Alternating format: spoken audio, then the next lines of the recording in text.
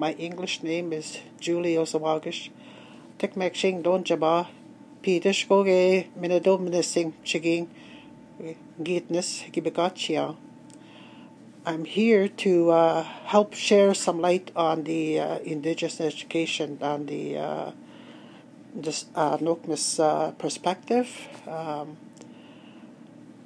so I'll just share a little bit about myself.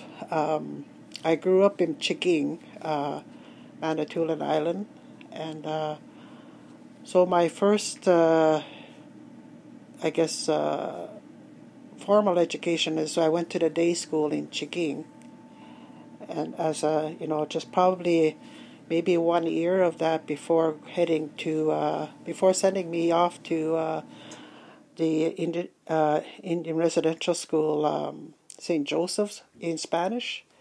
So I was there for seven years, and then uh, so 1963, the school closed, and I went back to the day school in Chiging, or, or it was called West Bay at the time. So I, I a lot of trauma happened in those schools. Um, children were harmed, uh, and I think some of the, or I believe some of the children were very gifted, you know, with their minds, but uh, but many also suffered of trauma that hindered their learning. And um, so I didn't complete uh, grade 8 and I never completed high school. And uh, I left the island when I was 15. I started to wander, looking for my place in life. And um, so in 1967, I met Frank, and uh, so we were married in 68. So looking at you know what education is um, you know i i really didn't have much to offer. But i remember in um, 19 probably 74 maybe even 75 i remember looking out my window and saying i said if i could help my people that's what i'd like to do. But i said i don't have anything to offer.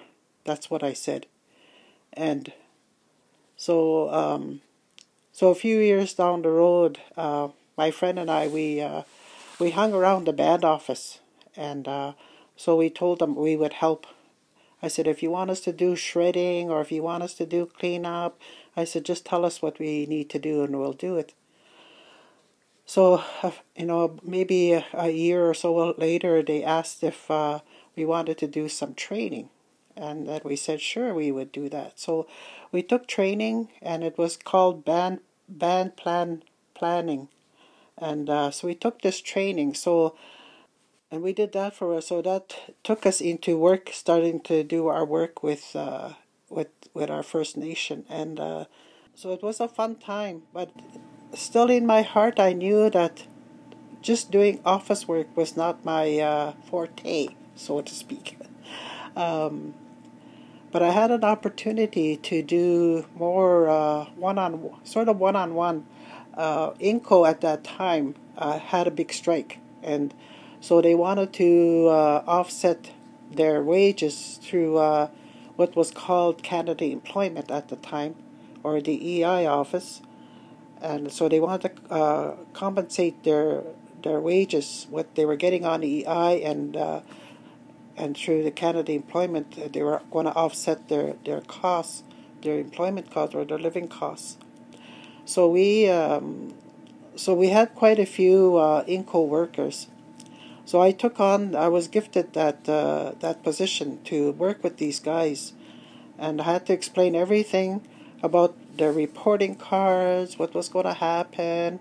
They had to be filled out. They had to be submitted on a certain time and um, and I explained all that to them, and I said once they were in, I would go drop them off and pick them up so that they would have their money, and I this is where I felt, you know. This is what I wanted to do to be helpful to to work with people, and um, so that project ran for maybe a couple of months, and uh, and I just really enjoyed doing that. And there were some hitches along the way, and I, you know, I said to some of the guys got mad because their checks didn't come in, and I just said, you know, it's it has to do with the office. I said I did everything I was supposed to do. And they said, "Oh, I'm not going to work." And I said, "Well, you know, that's your choice." I said, and I said, "But I will, you know, get it uh, rectified. I'll see what happened." And you know, they eventually got their checks, but you know, it's just uh, I really enjoyed that, and so. Um, so I continued to work with my First Nation uh, for the period up to 1984, but I knew in my heart that's not what I wanted to do. So in 1983, there was a posting out at the, for the Friendship Center that there was a position available. So I applied, and um, so just before the Friendship Center's uh, closure for the holidays, I got I get a call saying that uh, I got the position if I wanted it. And I was really stunned. And I was stunned because the people from the band office here had said it was a formality. They already have their person hired. Like, why would you apply there? You know, you're going to have to travel in the winter time. You're going to have to buy new clothes. Like, they're putting lots of negative curves on it. And then I just said, you know what? I says, I'm going to do it. I said, whether or not I get the job, I said, that's okay. So when that day called, that's why I was so stunned, and um, and of course I I accepted. And so in January of 1984, I started working at the Friendship Center. So when I walked through those doors, I just felt like a big blanket wrapped around me, saying, "This is where I'm going to retire." I was just I don't know. I just felt so good uh, working there. So working there, I, I worked as an employment counselor and I worked in that position for a year. So working with people, getting them job ready, uh, meeting employers, see what you know types of jobs they had available for uh, for people, and primarily uh, you know Anishinaabe people, and um, you know what their uh, qualifications they were looking for, um, you know all those kinds of things. So I, I really enjoyed working there. But the government had closed the, um, the community based uh, employment counselors down, and uh, but at the same time, uh, the Indian Indian Friendship Centers had uh, posted a position out of family court workers. So I was laid off for a few days, and then I applied, and uh, so again, like I was like uh, really stunned that I was selected for this position, and which I applied, which I accepted. So my time with the Friendship Center um, really helped me to look at, you know, our teachings, the stories with elders, and just looking at, you know, what our people are missing, and what I was missing, what I grew up with. I grew up with uh, with alcohol, violence, uh, the different types of abuses the harm that was done to our people. You know, why some of our people, uh, you know, left uh, their formal education. Um, there were so many barriers of uh, what our people went through and what I went through, which I could relate to. And so, up to probably um, in 1989, I really started to connect in who I was. Um, you know, away from from work, I uh, you know there was opportunities to uh, go to other communities and to listen to teachings, to sit in circles, um, and we went up to the Sault to the Sault Ste. Marie at the uh, Garden River. Um, they had uh, a healer there, and we real I really felt so drawn to the teachings, his stories, and uh, and along the way, I you know I I heard people talking about their spirit name, you know, their clan, their colors, and I thought like, what does this all mean?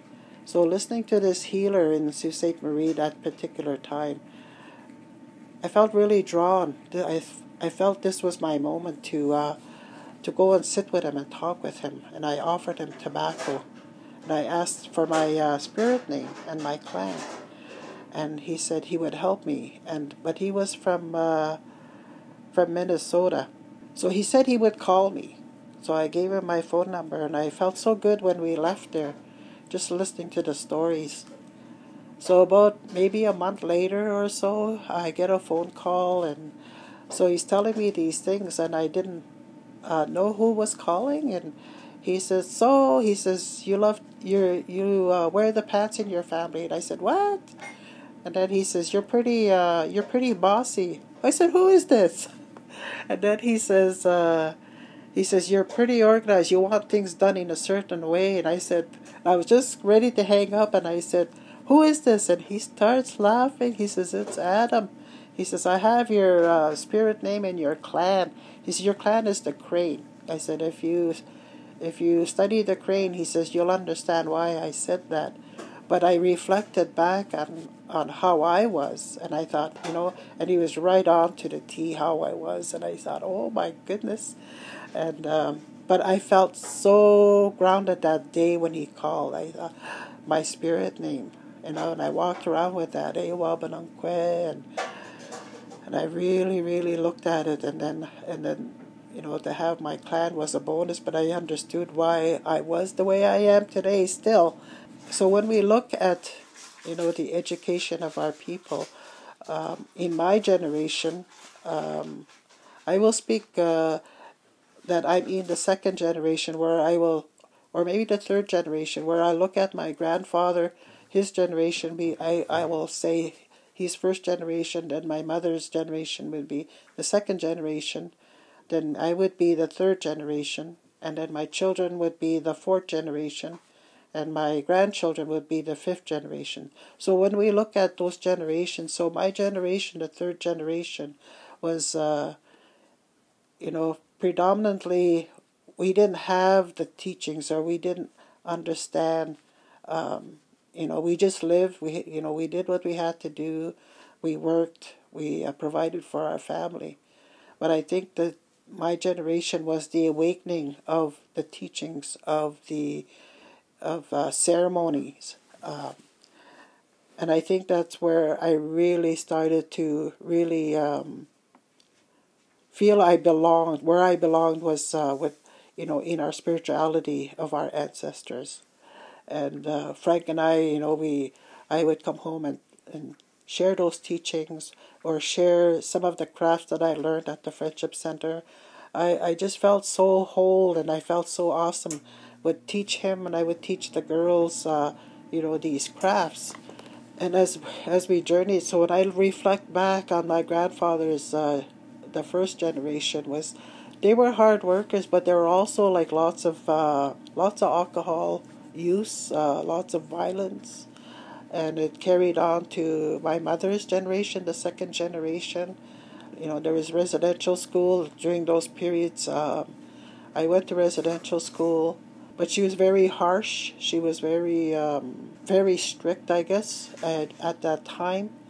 But in the period of 19, 1974 with her, we reconciled and we um, we made peace with each other. And uh, from 1974 moving forward, uh, we had a very beautiful relationship as a mother and daughter, grandmother and great grandmother. And she taught us lots about you know things and. Uh, just watching her, you know, seeing her in a different perspective from when I was a young girl. But uh, but all of that it helped me to to shape me who I am today. When we look at the teachings and we look at you know the seven grandfather teachings, I um, I look at those seven grandfather teachings that it's all in us, in our spirit, in our being. It's how we work with that, how we live it out. Um, you know, it it also has the dark side, the opposite sides of the seven grandfather teachings. But you know, when we look at the education today, our children are, are housed in a square building, square rooms, um, you know, not much of interaction. Um, so when we look at the third generations of my of my our daughters, our children, um, there was no the history was very negative um, about our people, our ancestors. A lot of the history was done with the European history. There was never any made mention of you know our ancestors, the uh, you know some of the uh, prominent uh, chiefs, I guess, or or people, individuals, uh, you know, who might have made uh, you know some high profile, you know, with of our own people. So when we look at the education or of books of authors, um, it was all the non-native um, content throughout the schools, uh, and I think that our Anishinaabe authors were starting to emerge around that time. So I remember when I was working at the Friendship Center, I was with the alternative school from 1991 to 1997. Um, I think it was in 95 that I that I made a, a commitment to uh, get my uh, high school diploma. So I started working on that, and uh, so in the English um, credit, I have I had uh, to read this book, and I can't remember what it's called, but I read it over and over that first chapter to find this one answer. I couldn't find it, so I thought I must be pretty dumb. I can't even find the answer. So I brought all my stuff back to the school, and I said to the teachers at that time, I says, I cannot do this. I says I quit.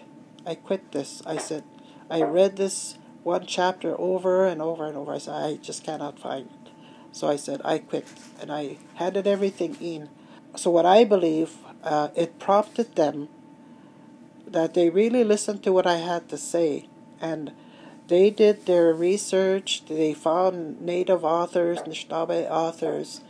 And um, so they asked me, they said, Julie, they said, will you do your will you do your diploma? I says, we found some different literature for the students to read. So I said, okay. So the book was called April Raintree. And I went through that book and I went through the English credit and I got my credits and I, you know, and I graduated. So I think it started from there that, you know, our learning is different. Our learning, we have a different style of learning. And I was so um, so pleased or or um, happy that the teachers that we had at that time they saw what what was lacking for our students you know and what they needed. And and they uh, you know they searched that out. So i think there are teachers who are very caring who understand like that we have a different way of learning or how we can relate to our own Anishinaabe authors. So i you know i, I graduated uh, that year so when we look at at education, I think education is not only should be in school. Our education is also outside because when you look at our ancestors of long time ago, when they when they roamed this land, they hunted, you know, and they used the animal. Everything in that animal was used. They never wasted anything. We looked at all the trapping styles. You know, we looked at what the women did the creativity that they did in you know when they made the when they made their garments uh, all of those things their creativity. So when uh, when we look at today now we move forward to where we are 2019 is that um, our children don't even know what it's like to go camping. Our children don't know like most of them i'm not saying all of the children but most of them don't know uh, what it's like to go fishing, um, what it is like to lay, you know, under the stars, to look at the stars. They don't know what it's like to uh, maybe even have moose meat, beaver meat, any of those, you know, the wild game and fish. So I think it's time for our children to go back and experience that. You know, say maybe a week of uh, of um, outdoor land-based teachings so that they could experience that. And for all the seasons because every season has its uh, has its gift in in what they provide. Um, so when our children could experience that and then relate it back to when they go back to school to be able to carry on what it's like to uh, maybe tan moose hide to uh, to skin a moose to skin a beaver how to cook fish how to smoke fish maybe even grow a garden. Watch the garden grow throughout the the you know the summer. Um, you know, starting at home. Uh, do this at home as a home project with the school to be able to make a report back to the school with pictures or video. Um, we have so much technology today that uh, you know there's so much that we could uh, the children could use to to show you know what they uh, what they could make or or do during the summertime. There's so much uh, that you know that we could teach children you know how to sew. Uh, even the boys, you know, they could learn how to sew. They can do beadwork. You know, what does it mean to be in ceremony? Uh, what does it mean to be, you know, in powwow uh, ceremony, regalia making? There is so much opportunity that our children could learn. You know, what how it is to make uh, to make lots of different crafts. You know, to to drum, to learn songs, to travel. You know, to understand what is a bundle, what makes up a bundle. You know, to to kind of waive their their precon- their preconceived thinking that you know that only certain people you know, carry ceremonies, but we are all ceremony people. I think that's what I like to stress lots is that not only certain people are, I don't like the word traditional, but ceremony people or people who who uh, carry uh, knowledge and ceremonies.